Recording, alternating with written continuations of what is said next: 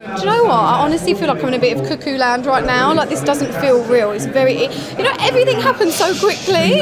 Um, I'm j- honestly, I'm just so overwhelmed. It's amazing. And you know, when you were making the documentary, obviously, you know, the NTA wasn't in mind, but how do you feel? It's honestly like when it was first announced that we were up for an NTA, I cried my eyes out. I was just like, this is this is insane because that's not obviously I didn't, that's not what I did it for, and like the fact that it even was nominated is just absolutely incredible, and I just feel just really overwhelmed. Yeah. So obviously, it was an emotional documentary to make. Um, you, you know, are you kind of glad that you did it now, and have you seen the benefit? Yeah, absolutely. Like I was, I was petrified before I even started filming it, and then even after when it was finished, I had my doubts and I was really worried. And then as soon as it came out and I saw the response, I was just like, I'm so glad that I did this because the fact that it's helped so many people is why I did it.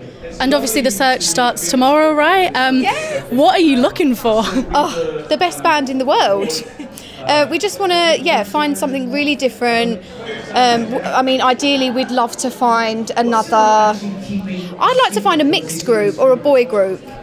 Um, but just someone, uh, for me personally, I want somebody who could dance, sing, the full shebang. The full and more TV for you? Who knows? I mean, I mean, right now I'm just so content with the girls, and we're just absolutely still living our dream and absolutely loving it. So, but yeah, you never know what the future holds. So, Well, congratulations. I'll let you go and celebrate. Thank you. Thank you.